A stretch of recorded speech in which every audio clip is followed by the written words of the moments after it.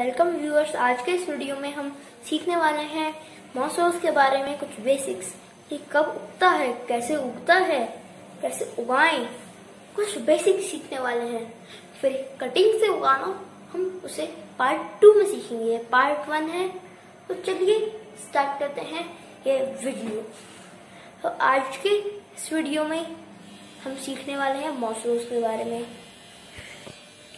So welcome viewers to my YouTube channel Amol Agrawal plant and blogs let's go so viewers ये देखिए, ये है moss rose का plant जो कि मैं आपको बताऊँगा। और ये मैं आपको बता देता हूँ अब इसके बेसिक्स चलिए, हम दोबारा चलते हैं हमारे स्टूडियो में। So viewers welcome again. In studio. So, now, some basics are, जो हमारा मॉसरोस का एक पौधा है, ये धूप में अच्छे से खिलता है। जैसे कभी धूप ना हो तो कम खिलता है।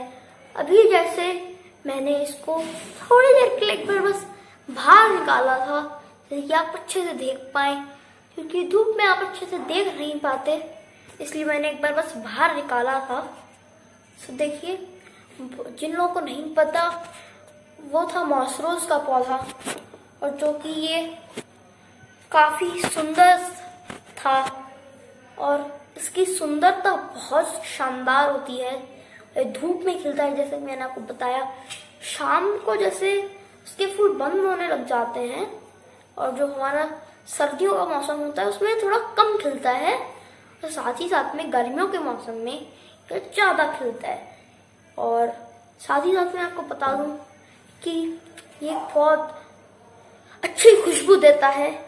और कटिंग और सारी चीज़ें बनाना भी बहुत बहुत आसान है। और कुछ टूल्स चाहिए होते हैं आपको इसको लगाने के लिए। So let's take our tools मैं आपको बता देता हूँ, हमारे टूल्स क्या हैं। First one tool required is your hand.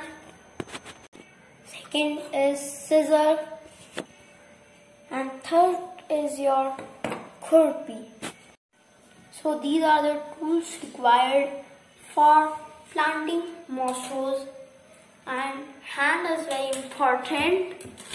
Hand की ज़रूरत होगी और हम कटिंग से लगाना सीखेंगे कटिंग से लगाना बहुत आसान होता है वो कहीं भी मिल जाएगा मौसम का पौधा। वहाँ से आप कटिंग ले ले, बना ले मेरी वीडियो देख के। उसके बाद आप उसको प्लांट कर सकते हैं, जैसे जैसे मैं बताता जाता हूँ। और ये बहुत इजी होता है। और साथ ही साथ में मैं आपको बता दूँ जैसे कि मैंने आपको पहले ही बताया कि इसकी खुशबू बहुत अच्छी होती है। और इसी खुशबू मेरे को बहुत पसंद भी है। आपको भी पसंद आएगी, मैं उम्मीद करता हूँ।